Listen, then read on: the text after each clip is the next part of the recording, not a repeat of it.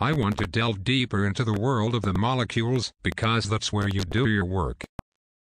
Your speciality is protein assemblies. You look at the way DNA repairs itself, and this is all happening at the level of the cell, at the level of molecules and, of course, proteins. So you've buried yourself into what they call structural biology.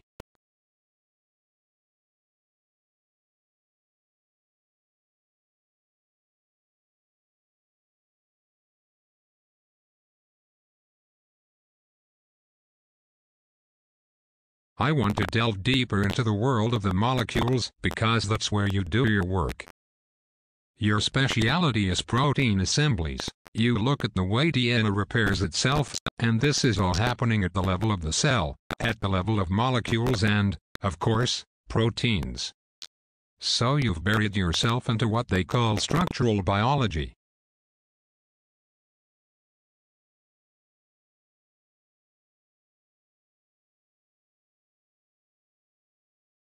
It's a great honor for me to be here speaking at the Greenpeace Business Lecture. And it's also a wonderful opportunity for me to talk to you about the topic that, as Doug has just said, I consider to be the most significant issue facing us this century. What I'm going to do is run through the science behind climate change. And then I'll run through what the government is doing, and what the international position is, and the sorts of things that we all ought to be doing on this issue. So just starting off with the science,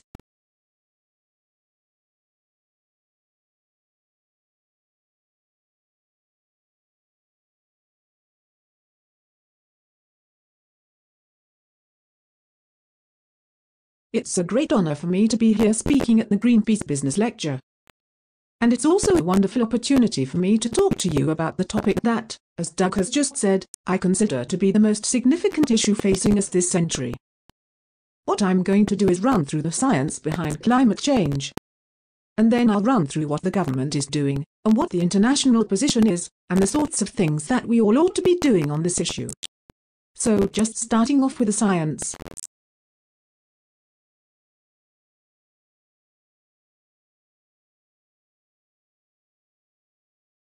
and it's through ethnography to submerging yourself in an experience or in a situation as if you were one of the people inside of that situation. I think we can get a glimpse into these kinds of examples. We can understand different kinds of work, and they used to be a rich tradition of doing this kind of work like as such.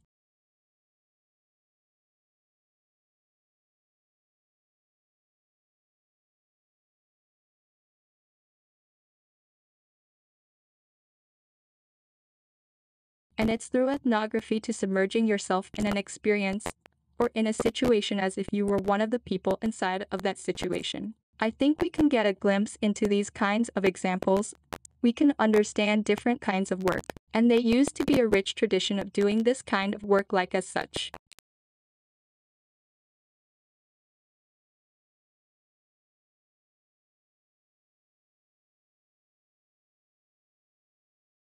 On the other end of the phone is Jack Utsick. He's calling me from the Miami Federal Correctional Institute, a low security prison about 40 minutes drive from Miami Beach.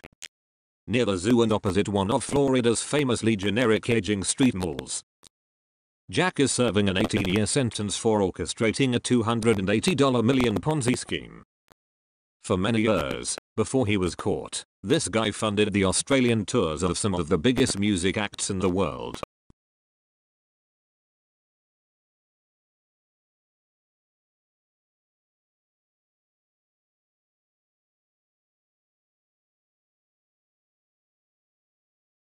On the other end of the phone is Jack Utsick. He's calling me from the Miami Federal Correctional Institute, a low security prison about 40 minutes drive from Miami Beach. Near the zoo and opposite one of Florida's famously generic aging street malls. Jack is serving an 18 year sentence for orchestrating a $280 million Ponzi scheme. For many years, before he was caught, this guy funded the Australian tours of some of the biggest music acts in the world.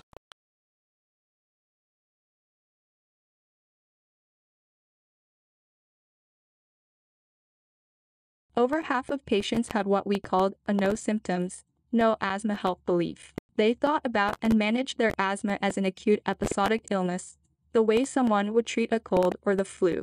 The felt when they had the wheezing or shortness of breath, that's when they had their asthma. And it made perfect sense for them to use the quick relief medicines and their chronic control of medicines then, but once they started feeling better, they felt there was no reason for using those medicines because they felt okay.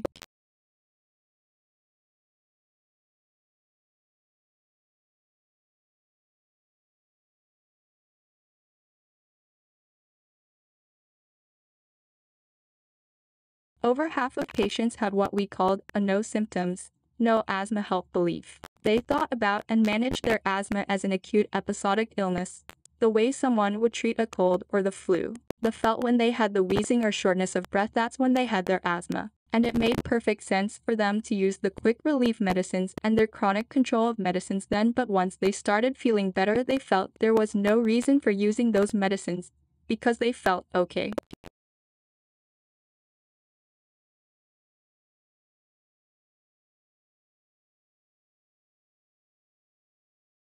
On a tour of Spain in 1912, a fellow traveller introduced Holst to astrology, and he became so curious that sowed the seeds of his spectacular orchestral suite. The planets, his most popular, if not most representative of creation, which portrays the astrological rather than the mythological characters of seven planets in our solar system. Jupiter, the bringer of jollity, has both of its jovial feet planted firmly on the ground.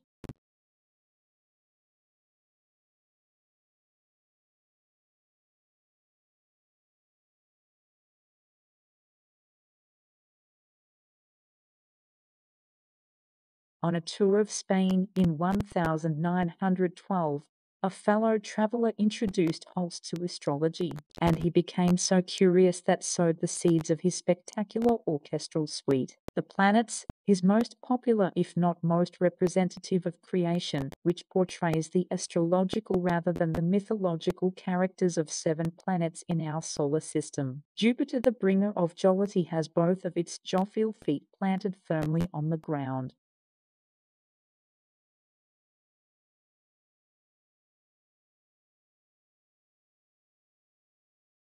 It's the thing, you'd have to be a seismic instrument to actually feel these ones but they are there. They occur at all depths, some of them quite deep, some of them quite shallow.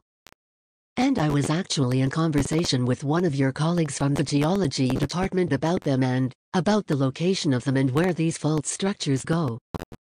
It's been fantastic.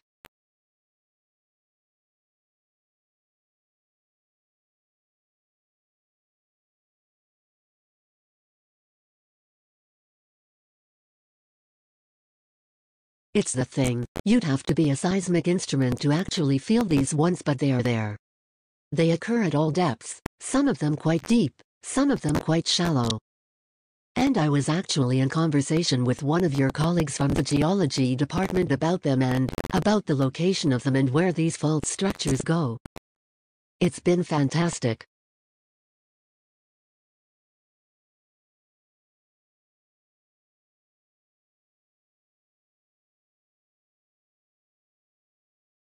We've all seen it in the movies. After doing long, hard years in prison, a man finally walks free. He steps outside, the sun on his face, the wind in his hair, ready to start over.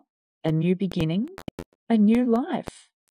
The reality of getting out of prison can be very different. If you don't have anyone to pick you up, you might get a transport voucher. If you don't have anywhere to go, you might be given $275, two nights in a motel, and one set of clothes. That's it. There are more people in prison in Australia than ever before. Right now, that's more than 40, zero people. If you take the official figures, that's 40% more than six years ago.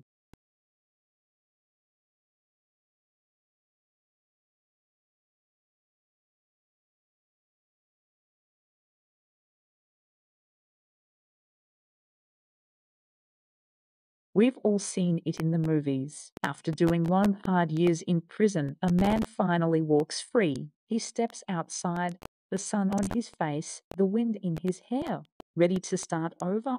A new beginning, a new life. The reality of getting out of prison can be very different. If you don't have anyone to pick you up, you might get a transport voucher. If you don't have anywhere to go, you might be given $275, two nights in a motel, and one set of clothes. That's it. There are more people in prison in Australia than ever before. Right now, that's more than 40, zero people. If you take the official figures, that's 40% more than six years ago.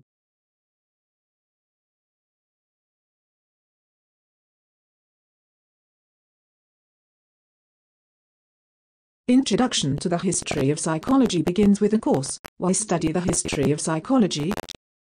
And I'd like to discuss several factors that are important to this. Because of course, as the formal discipline psychology came about in about 1879, and we, we tend to say with the founding of Wilhelm Wundt's laboratory in Leipzig, however, we need to also understand that the concerns of psychology were around will before this date, and therefore it helps to look at what historians have to say about how we go back in time and look at our past. So then when one begins to say why study the history of psychology, you can really hone in on four principles.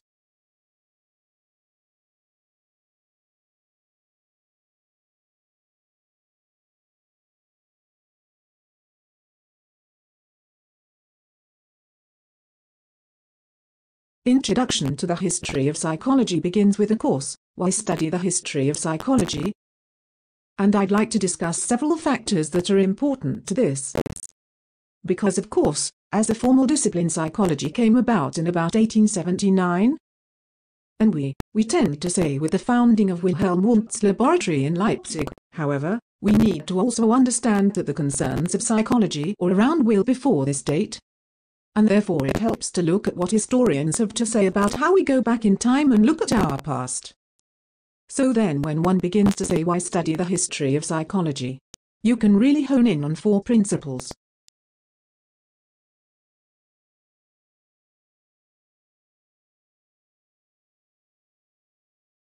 A cloud of fine red dust swirls as a chopper lands next to a small racetrack in the outback centre of Australia. There's a group of beer-soaked punters, mainly tourists, and a few locals crowding near the start line. They're wearing broad-brimmed hats and boots, and they're leaning up against the guardrail, waiting. This is the scene for the final race of the 2019 Uluru Camel Cup. That's right. Humpbacked, slobbering, groaning camels.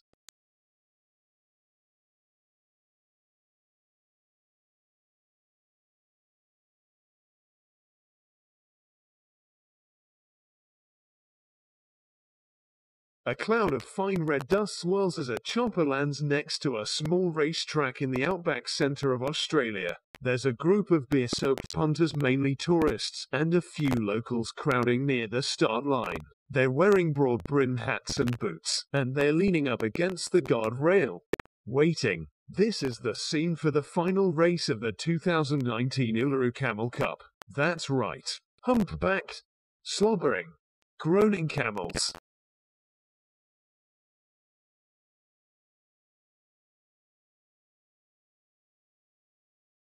Our Earth-Moon system where we live is a very unusual arrangement even by the standards of our solar system, because we have this unusually large moon in proportion to the size of the Earth.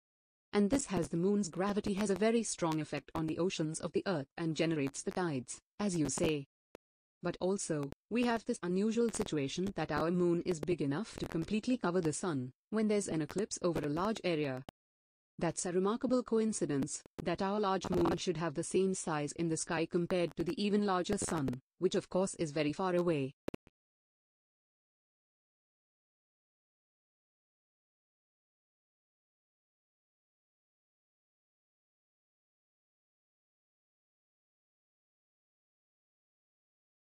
Our Earth-Moon system where we live is a very unusual arrangement even by the standards of our solar system, because we have this unusually large moon in proportion to the size of the Earth. And this has the moon's gravity has a very strong effect on the oceans of the Earth and generates the tides, as you say. But also, we have this unusual situation that our moon is big enough to completely cover the sun, when there's an eclipse over a large area, That's a remarkable coincidence, that our large moon should have the same size in the sky compared to the even larger sun, which of course is very far away.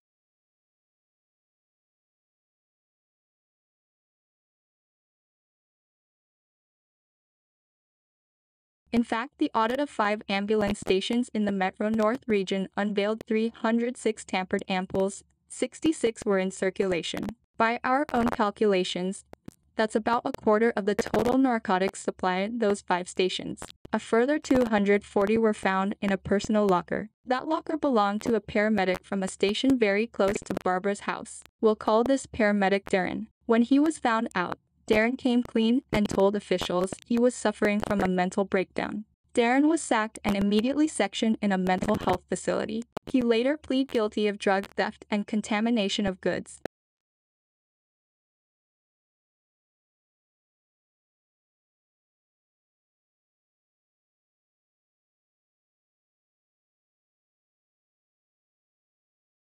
In fact, the audit of five ambulance stations in the Metro North region unveiled 306 tampered ampoules, 66 were in circulation. By our own calculations, that's about a quarter of the total narcotics supply those five stations. A further 240 were found in a personal locker. That locker belonged to a paramedic from a station very close to Barbara's house. We'll call this paramedic Darren. When he was found out, Darren came clean and told officials he was suffering from a mental breakdown. Darren was sacked and immediately sectioned in a mental health facility. He later pleaded guilty of drug theft and contamination of goods.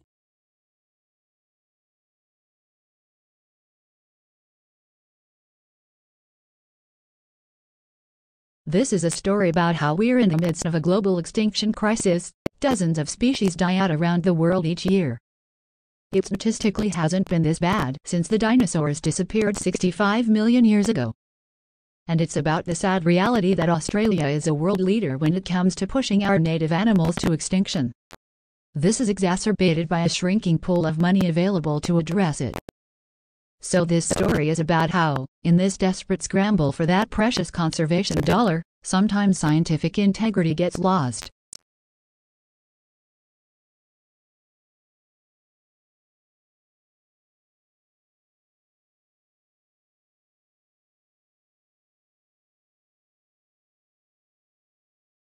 This is a story about how we're in the midst of a global extinction crisis. Dozens of species die out around the world each year.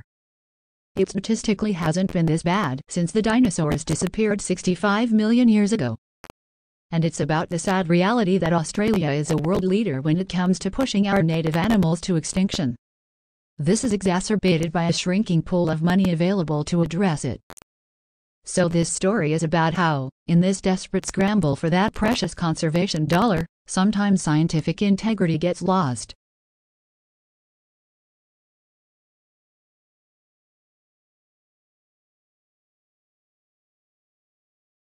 Without exposure to the alternative visions of the world expressed by other languages, our view of ourselves and of our planet remains inward looking, unchallenged, and parochial.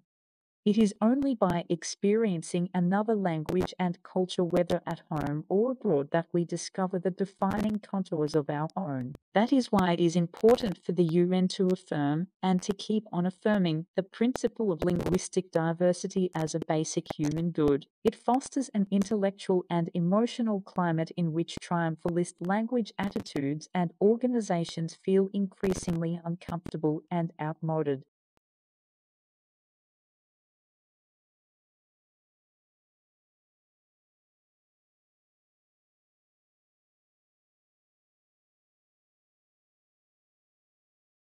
Without exposure to the alternative visions of the world expressed by other languages, our view of ourselves and of our planet remains inward looking, unchallenged, and parochial. It is only by experiencing another language and culture, whether at home or abroad, that we discover the defining contours of our own. That is why it is important for the UN to affirm and to keep on affirming the principle of linguistic diversity as a basic human good. It fosters an intellectual and emotional climate in which triumphalist language attitudes and organizations feel increasingly uncomfortable and outmoded.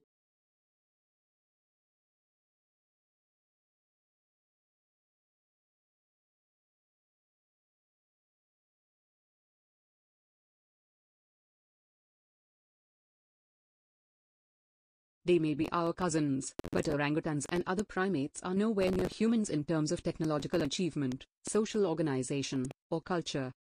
And it's humans' capacity for building off of one another, an integral part of our so called cumulative culture, that has allowed us to build up so much in so little time. But how did we develop such advanced methods of learning in the first place? Kevin Laland of the University of St. Andrews spoke with me about his team's quest to pinpoint the social and cognitive processes that underlie humans' ability to acquire and transmit knowledge.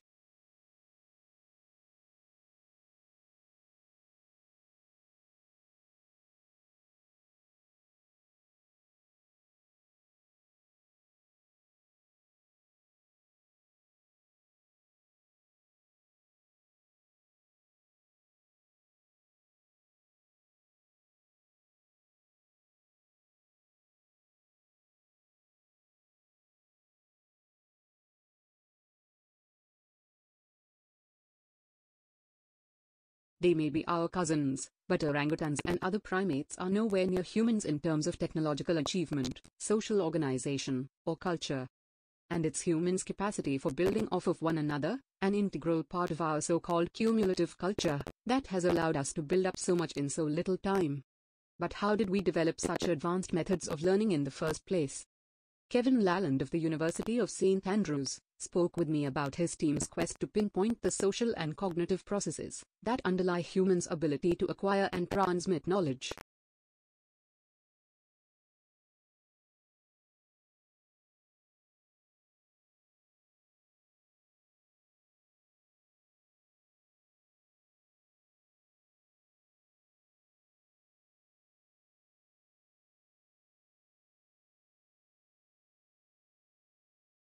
Have you got kids? You know anyone who does? They're a lot of work, right? Many people would tell you, including me. It's a full time job. Either you look after them or you pay someone else to. It's around the clock. Now, if you live in Australia, you have kids and you don't have an income or you're on minimum wage, give or take a few hundred dollars a week, you're entitled to some money from Centrelink. It's called the parenting payment, and if you get it, you might have to sign up to something called Parents Next. Maybe you've heard of it.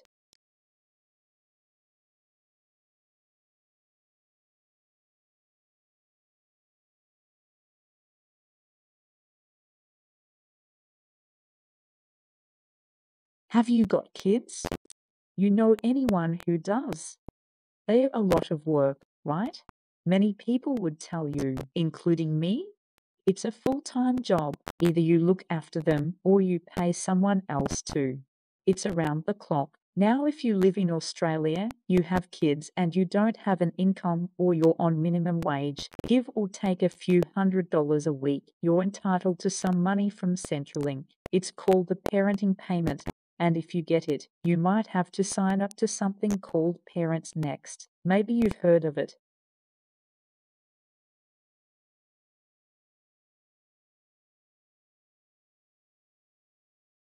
My own neighborhood was a pretty good example of where the reporters of the area came from. I live next door to a cop. There was a fireman across the street. And the most important, the most awesome figure in the neighborhood worked at City Hall as a doorman. It was a working class, middle class neighborhood, and that's where the reporters came from.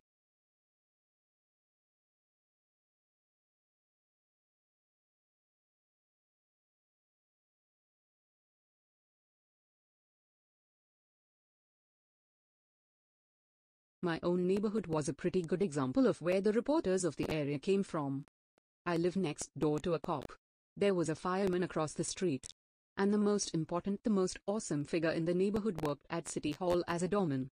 It was a working class, middle class neighborhood, and that's where the reporters came from.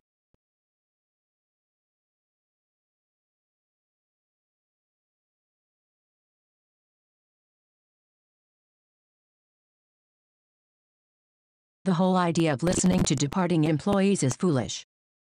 I've never understood why companies set such store by exit interviews. They tell themselves that ex-workers are somehow free to tell the truth, when they are actually just as constrained as current employees, only the constraints are different. When you are in a job, you don't say what you really think because you want to keep the paychecks coming in. But when you are walking out the door, you also fail the truth test just as reliably.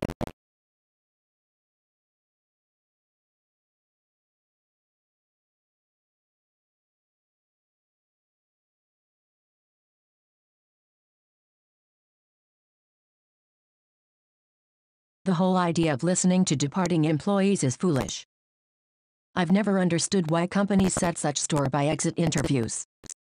They tell themselves that ex-workers are somehow free to tell the truth, when they are actually just as constrained as current employees, only the constraints are different.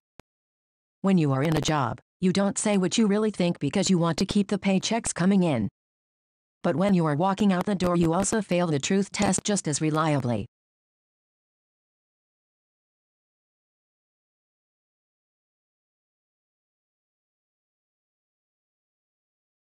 Since a far-right rally in St. Kilda in January this year, Senator Anning's online presence has grown rapidly. Along with Pauline Hanson, he now has some of the highest online engagement stats of any Australian politician. On Facebook there's his personal page and his official party pages. Then, behind those there's this raft of other hardcore alt-right groups, like the Fraser Anning Supporters Group, that have been using his face as a template for and racist memes ever since he made it to Parliament. So if you go back to just before that egg struck, the back of Senator Anning's head, those were the people he was talking to.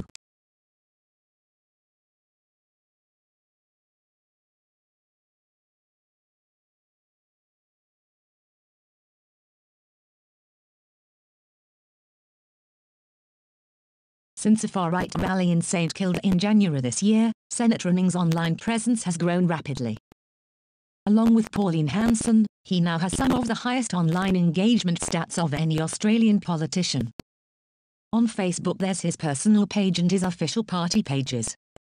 Then, behind those there's this raft of other hardcore alt-right groups, like the Fraser Anning Supporters Group, that have been using his face as a template for and racist memes ever since he made it to Parliament. So if you go back to just before that egg struck, the back of Senator Anning's head, those were the people he was talking to.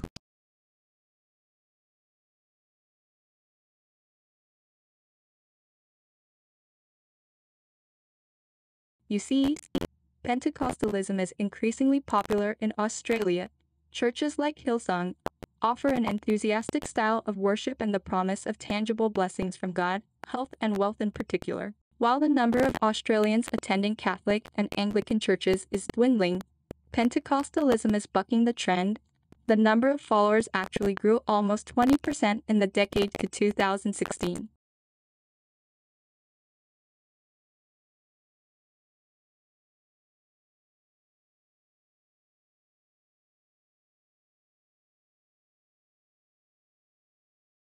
You see, Pentecostalism is increasingly popular in Australia. Churches like Hillsong offer an enthusiastic style of worship and the promise of tangible blessings from God, health and wealth in particular. While the number of Australians attending Catholic and Anglican churches is dwindling, Pentecostalism is bucking the trend. The number of followers actually grew almost 20% in the decade to 2016.